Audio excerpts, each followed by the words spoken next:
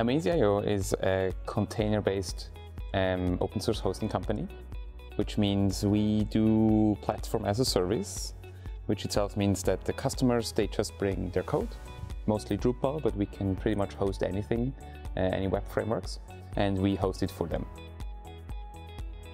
amazee.io is really uh, about pushing the boundaries of open source uh, hosting. We really believe in DevOps and automation tooling to, to improve the, the lives of developers and allow developers to create some really cool, cool solutions.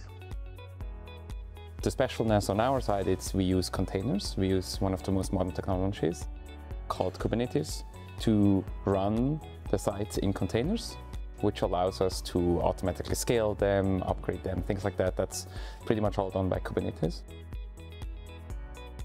And one of the best, biggest benefits of container-based solutions are its scalability, um, but also its dynamic nature um, to be able to support multiple uh, microservices in, in your build architecture.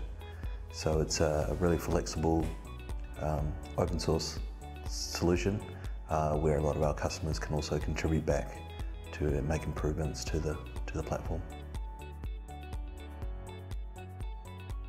One of the cornerstones of amazee.io is our support. So when we started, we wanted to focus on delivering the best support we can. And this is basically done via, via chat support where you have direct access to our engineers. It's not like going into a ticket system, filing a ticket and waiting hours. It's basically you ask the question, one of our engineers steps in and helps you solving your issues. We are a completely remote company. We currently offer hosting in our own cloud in the US, Switzerland and Australia. But we can actually host pretty much anywhere in the world. And the last really cool thing is it's open source. So anybody that wants to use it can see actually what's running inside um, our hosting platform. So there's no secrets, there is nothing at all. And we really believe this is how it should be done.